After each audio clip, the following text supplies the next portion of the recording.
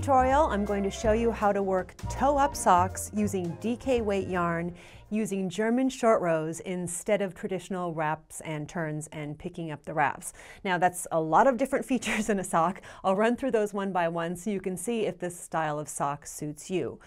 First, these socks are toe-up, which is, in my opinion, the superior way to knit socks because you end up with no leftover sock yarn. And the reason for that is you knit the most important part of the sock, the foot and the toe and foot, and then you just use up all of the rest of your yarn in the cuff, knitting it as long as it will go, and you have a little tiny bit of yarn left over you can just throw away and not store.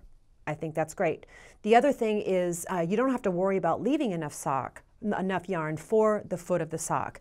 When I know me, when I'm knitting a cuff down sock, or when I used to knit cuff down socks, I would always worry about having enough yarn for the foot because you're never entirely sure how much yarn that's going to be. So I would either leave as much as I thought I'd need and then hope I wouldn't run out before I finished, or I would leave way too much and then I'd have leftover yarn. So toe-up socks, I think, are a great way to go to use up all the sock yarn and get the longest sock you possibly can. Next, these socks are knit in DK weight, and this is my first sock tutorial where I've ever used this weight of yarn, and I'm really pleased with the way they turned out.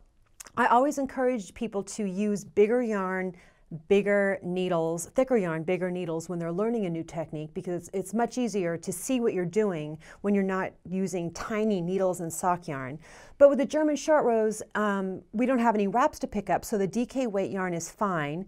You still end up with a sock that knits up pretty quickly, but it's the it's a, a, thin enough sock that it's totally wearable. It fits inside shoes and boots and everything else, and it's not as thick as a worsted weight sock. So I'm, I'm really happy with these.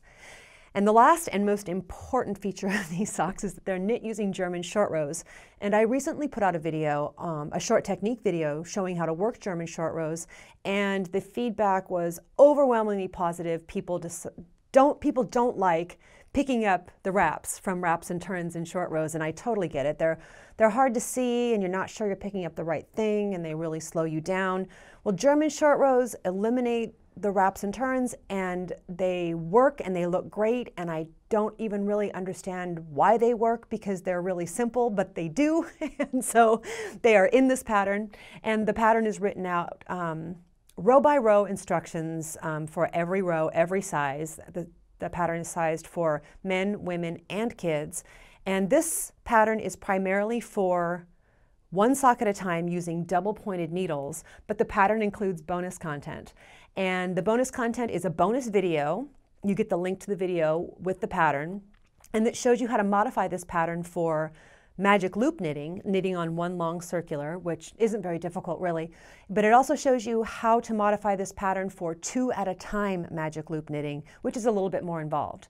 So if you'd like to get your copy of the pattern with the bonus content to follow along, I'll give you a link here on screen to my website. You'll also find a link to my website in the video description field below on YouTube. And also on my website, you'll see um, uh, listed out the different yarns I use, the needle size that you need, um, pretty much all the information you need, right down to my nail color, if you want to know that, will all be on my website. Uh, and next we're going to get started with the toe of the sock, and that's coming right up.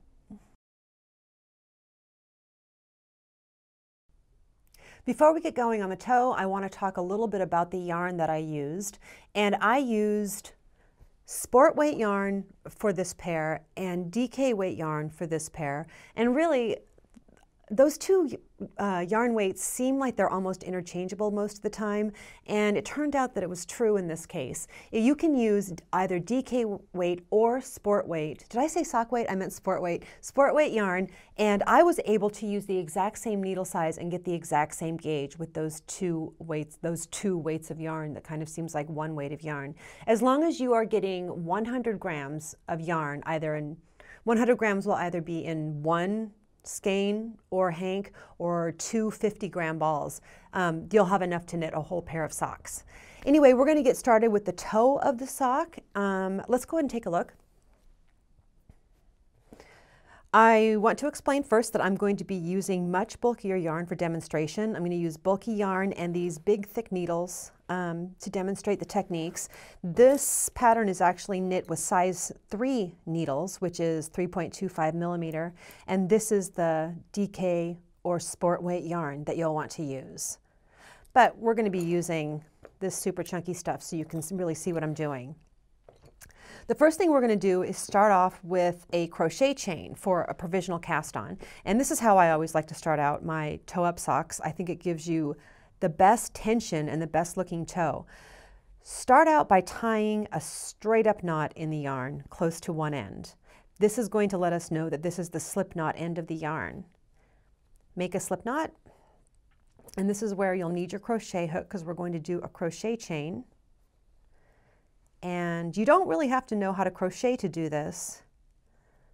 But if you, um, this is all, this is all the crochet that you'll need to know. Um, but here's a link to my crochet chain video in case you need it.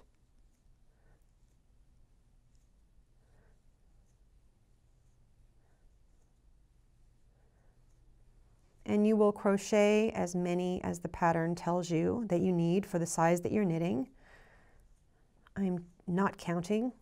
I've been talking and not counting. When you're finished, just pull, break the yarn, pull the end of the yarn through and tighten it up a little bit. Now what we're going to do is pick up stitches in what is known as the spine of the crochet chain. So this side of the crochet chain is a bunch of V's. If you flip it over, you get the spine, or what I call the hyphens. You, I have my crochet chain backwards. You want to set it up so that the knot, the slip knot end is over here on the right. We're going to pick up stitches from right to left and we want to start picking up on the right side. So you get your yarn ready and you just need one needle for this. To pick up a knit, you put your needle into that horizontal loop and it slides back out. Take your yarn and kind of fold it over, leaving yourself a six inch tail and put that loop around the needle and pull it through and go into the next hyphen, wrap it and pull it through.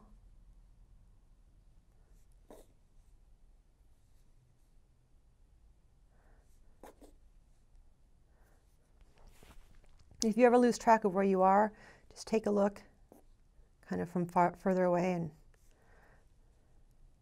make sure you're going into the right place.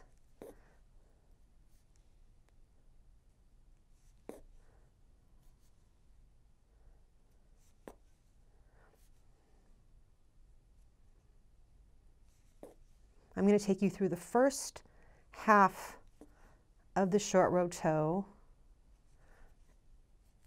in this video segment, and then we'll go into the second half in the next.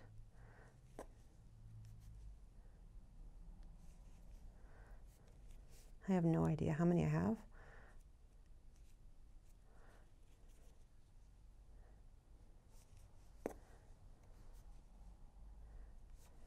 Okay. That'll do for demonstration. I'm going to purl back across these stitches.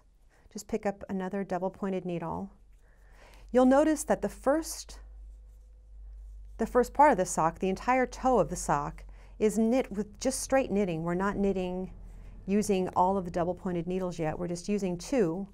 So it's really just uh, knitting in rows, flat knitting.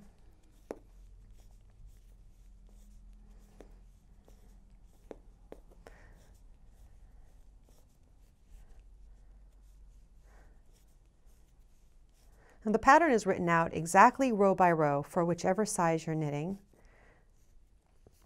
Um, so you'll want to definitely follow the pattern. What I'm doing here is just demonstration, um, but I want to show you how to work the German short rows. You're going to knit the number indicated in the pattern.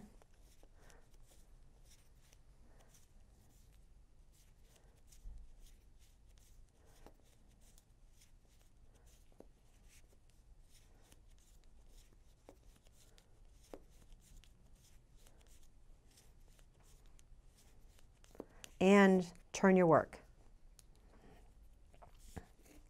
And then this is where we actually work the German short row. In the pattern, I just abbreviate it GSR. This is where we're going to work it. We're on the wrong side of the work. We're going to slip that stitch from the left needle to the right, take your working yarn and yank up on it a little bit, so it gives you kind of a double loop stitch. Pull the yarn around and forward because this is a purl row, and purl back across the stitches. We're just going to leave that double stitch there for later.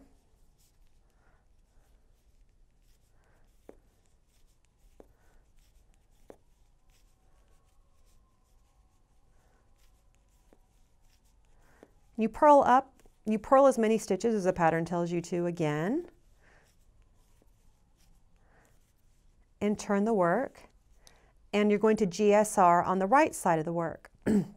to do that, you slip the stitch from the left needle to the right, pull up on the working yarn, and then just knit across the stitches as many as you're supposed to. Now on the knit side of the work, you don't really get the awesome uh, double stitch. You get more like a stitch and a yarn over. It's perfectly fine. It looks different, is my point, from the wrong side of the work to the right side of the work. I'm going to show you that again. Knit the number of stitches as indicated in the pattern. And it won't be all the way across the row from here on out. You do that and then GSR, which on the wrong side of the work means slipping the stitch from the left needle to the right. Your yarn's already in front. Pull up on that stitch, pull the yarn forward between the two needles and purl the number indicated in the pattern.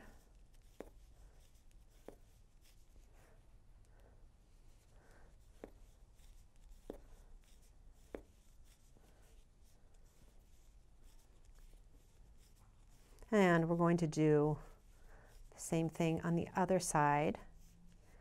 You turn your work in GSR, pull the yarn forward between the two needles, slip the stitch, yank up on the working yarn a bit, and knit across those stitches. One more time on the right and the wrong side.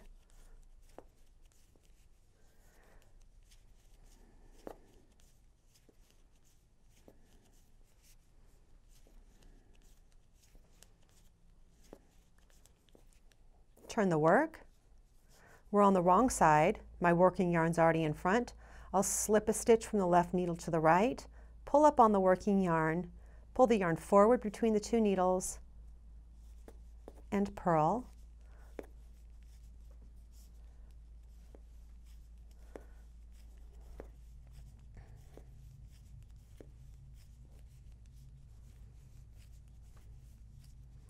And one more time on oh, turn the work. And on the right side, I pull the yarn forward between the two needles, slip that stitch from left needle to right, pull up on the working yarn, and knit.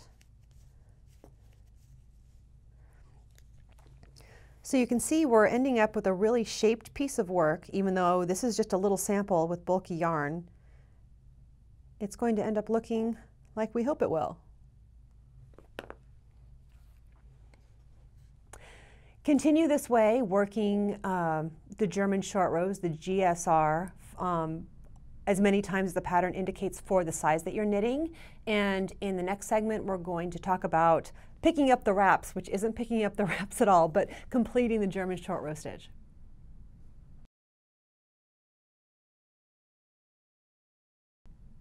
Once you finish the first half of the toe, it's time to start working the second half. Let's get right to it.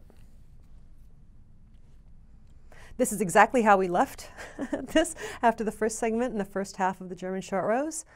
I'm going to show you how to complete the German short row and um, make the second half of the toe. I'm going to knit up to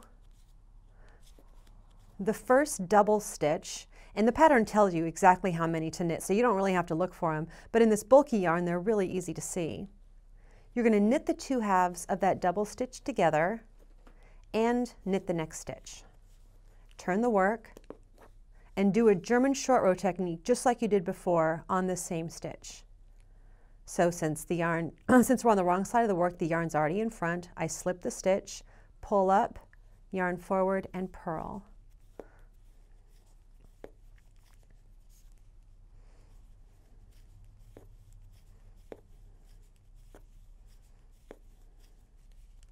You're going to purl up to the first double stitch. And on this side, it looks more like a stitch and a yarn over. It looks a little different. Purl those two halves together and purl the two halves together on the next one. Turn the work. We're going to GSR technique on this stitch. So I'll yarn forward, slip that stitch, pull up on the working yarn, and knit across.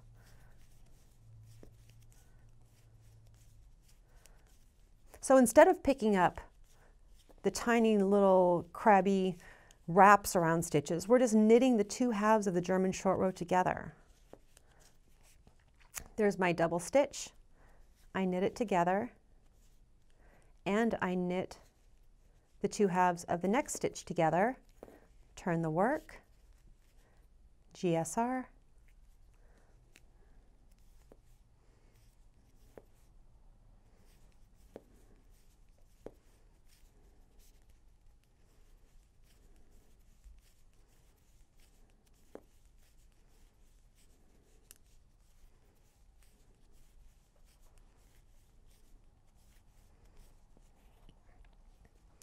purl those two together, purl the next two together, turn your work, GSR, And I want to get all the way down to the end because I want to show you what you do next in removing the provisional cast on.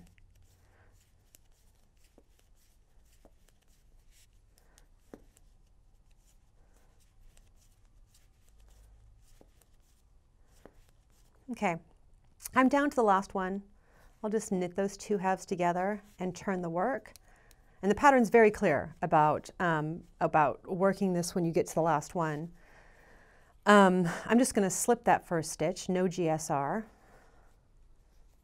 and get to the last one on the purl side.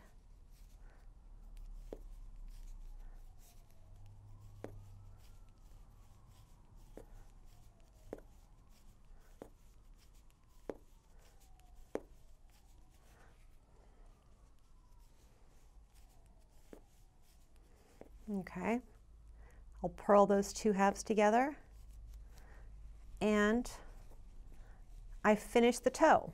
Now granted this is uh, an awkward little toe on bulky yarn, but you can see we very much have a shaped piece of, of knitting here.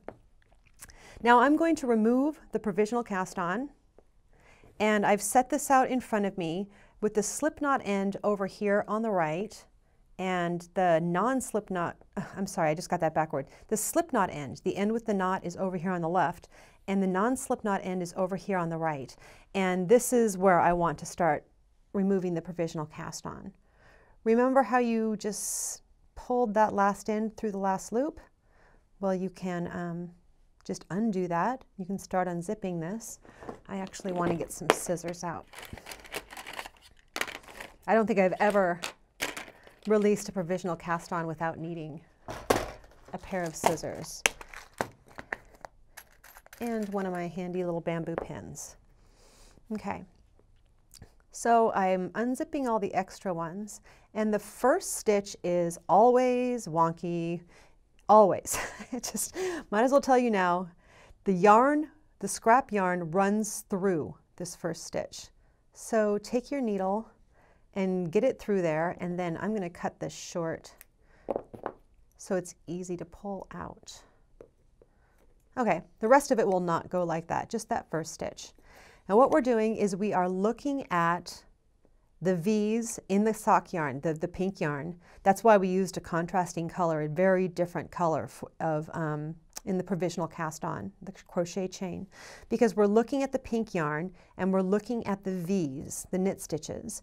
We want to take the tip of our needle and run it under the right leg of each V. And this is how this looks. run it under the right leg of the V, each one. I like to try to get a whole bunch picked up at once.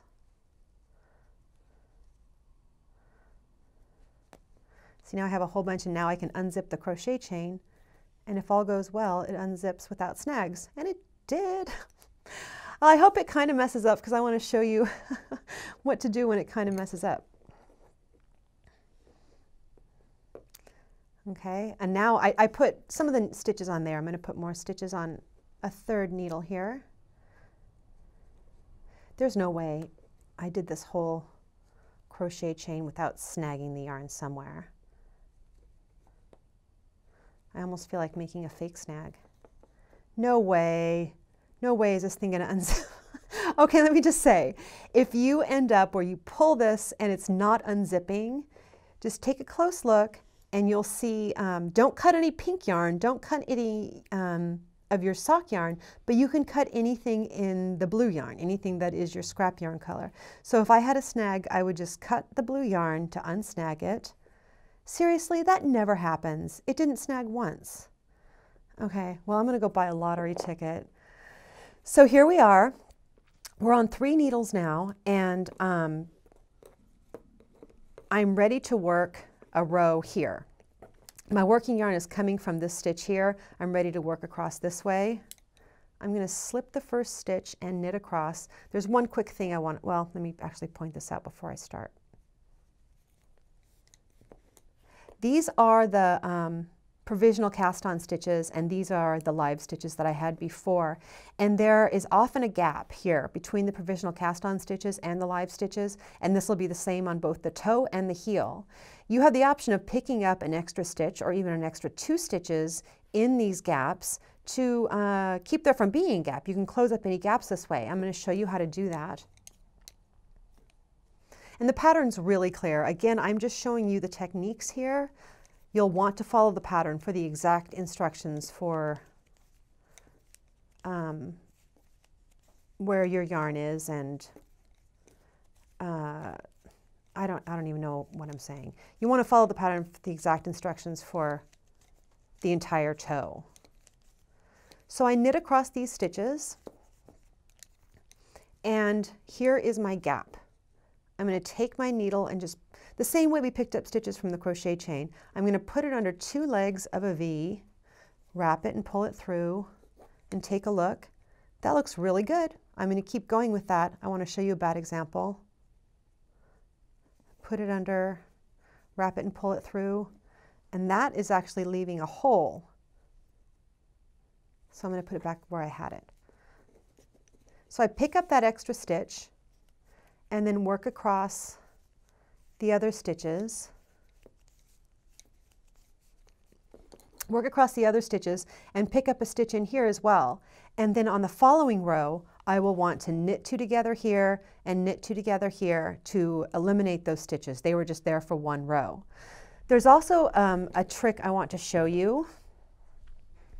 Uh, that's probably not as easy to see. Let me do it on this one.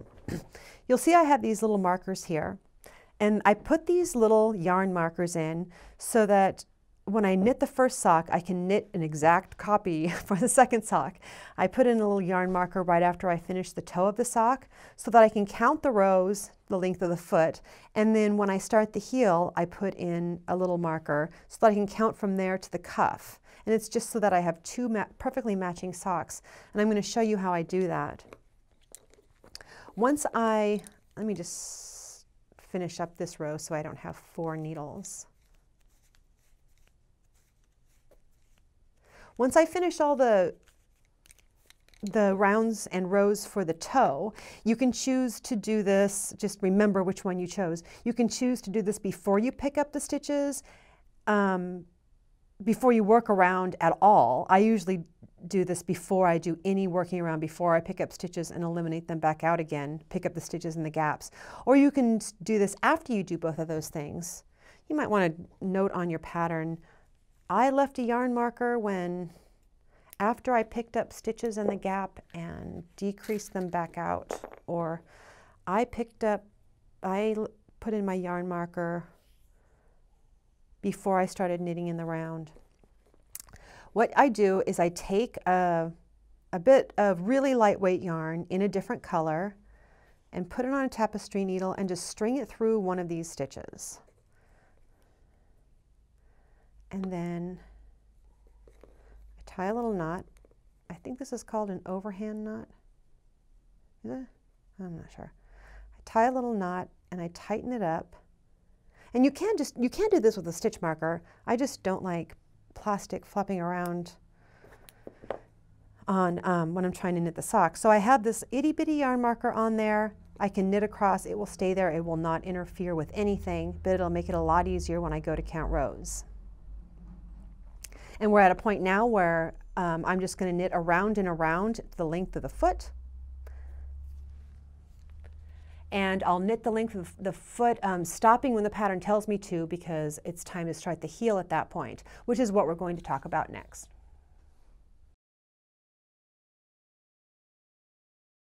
Once you finish the length of the sock, you just go around and around and around knitting all the stitches. The pattern will tell you exactly when to stop and start knitting the heel. And the heel is worked exactly like the toe of the sock, which is crazy because you would never think those two things were the same. But if you take a look, they are exactly the same shape. And the whole thing comes together to make a foot. So it works, trust me. I'm going to show you um, a couple of tricks for getting started on the heel. Let's go ahead and take a look. Okay, here is my Jolly Green Giant um, sample here. And I'm ready to get started on the heel. And I have my yarn marker here, like I showed you um, in the last section, where this is where I finished the toe. And now that I've finished the length of the sock, I want to place another yarn marker because I want to know exactly how many rows or rounds I had in the foot of the sock so I can make, make a matching sock. So I'm going to take some of my scrap yarn again and and mark this just like I did before and I won't tie the knot this time. But you see, I'll, I'll, have these two markers here, and this is just a little thing that I do. You don't have to get fussy like this. I want these two markers to be on the, the instep, the top of the sock, and I want to work my heel on um, these back two needles. So uh, the last row before I start working the heel, and um, I haven't done this, but I want to put these stitches on two needles and these stitches on one needle because I want to work my heel stitches um, across one needle like I did for the toe. But I will just slide things around to do this. I just grabbed an extra needle, slip the stitches around, and you always slip as if to purl. So now, there I've done it. This is the top of my foot where I have the stitches on two needles and all of my heel stitches are on one needle and I'm going to work back and forth use, doing the German short rows just like I did um, for the toe. It works out amazingly well. And then um, I will just knit the cuff. And there's my marker. With this yarn, this yarn had a lot of yards to it. I was able to get a really long sock out of the women's, um, in the women's size. You're just going to knit the cuff until you're almost out of yarn. And I did the exact calculations for you. Um, to get about an inch of, of cuff, you want to start your, um, you want to start your two by two ribbing when you have about five grams of yarn left. That's how I ended up making these two matching socks. I actually used a scale and it ended up that I had just like a foot of yarn left over and I just threw it away. I was so glad. So uh, about five grams of yarn and that worked for both the DK and the sport weight yarn that I used. That'll give you enough for 11 rows, which is about one inch, and then you're ready to start the bind off. So I have a little sample here of the 2 by 2 rib. I'll show you really quickly if you haven't worked two by two rib, I'll give you a quick overview of that. And then I want to show you how to work this awesome stretchy bind off. So we're going to just keep working around, but we're going to start with two knit stitches, yarn forward and purl, yarn back and knit, Whoops, I just yarned back because I was tightening that stitch. And I, um, the pattern tells you how to arrange the stitches so you always end on two purl and start a new stick with two knits. It's easier to start a new needle with two knits.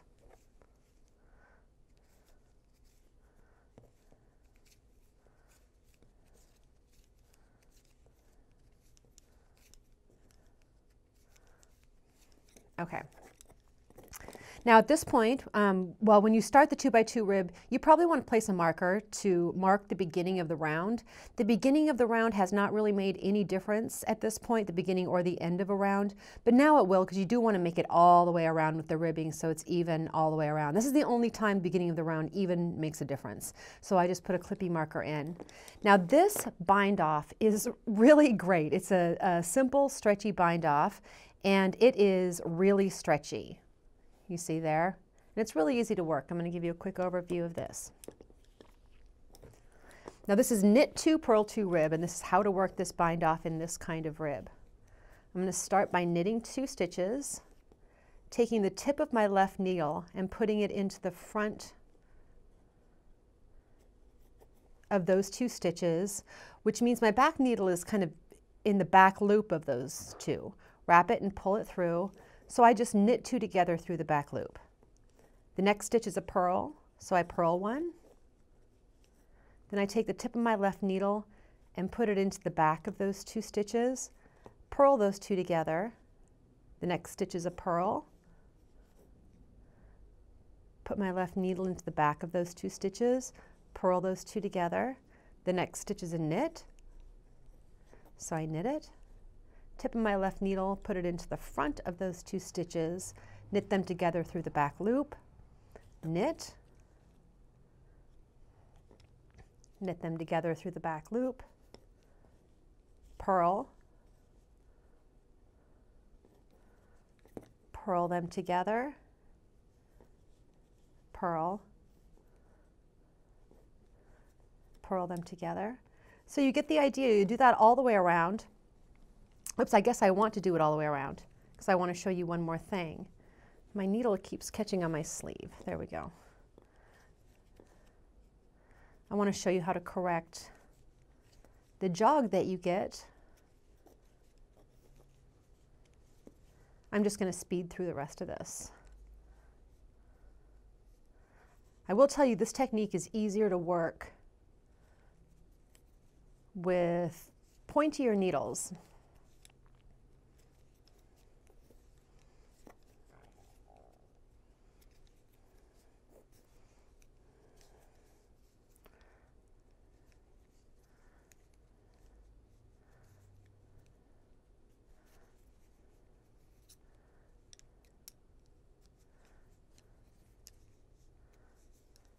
Okay. I hope I have enough yarn. I just, I cut the yarn. I hope I have enough to finish this. You hang tight with me for just a moment. I'll speed through this.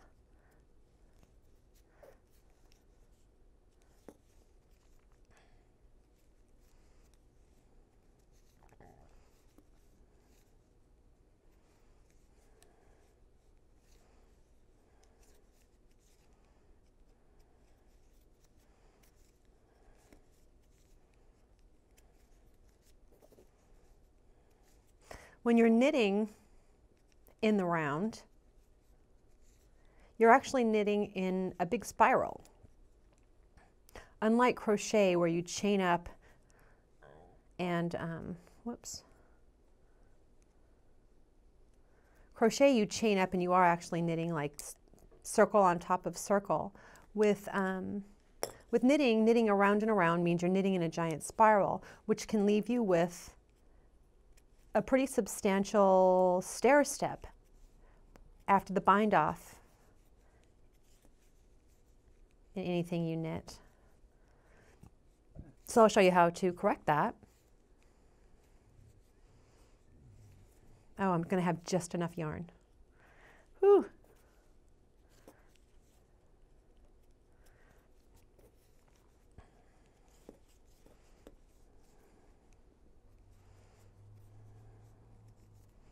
Okay.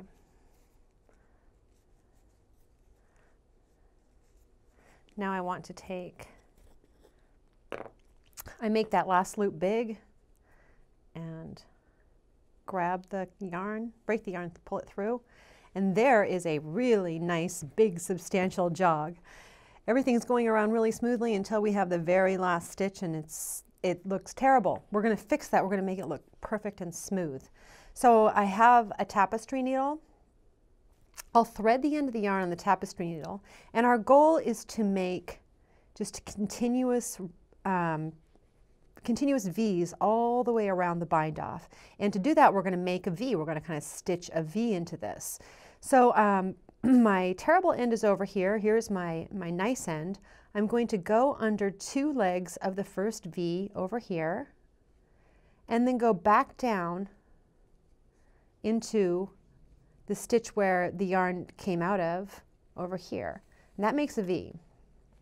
And when I do that, this is a really loose gauge and I actually have a hole here that you probably won't see in other knitting, but um, because I have a hole there, I'm going to actually just stitch that up. You won't see it in the DK weight socks, but you see how nicely that smoothed all of that down. And to correct that hole, I'm just going to weave this through I have to weave in the end anyway. And this is on the inside of the sock, so no one's going to see it. Oops, that last one was kind of a big jump. Like I'm, I'm not, I just did that like I was concerned that someone was going to look inside the sock and be dissatisfied with my sloppy work. Uh, well, I guess it's, it's good to do careful work. So you see now I closed up that gap and everything looks good and this looks smooth and I can just finish weaving in that end and that looks very nice. And it's stretchy. That's it. Those are all the steps for making German short row DK weight toe up socks. Uh, if you're working from the pattern and you have the link to the bonus material, I will see you in the next segment. To everyone else, good luck.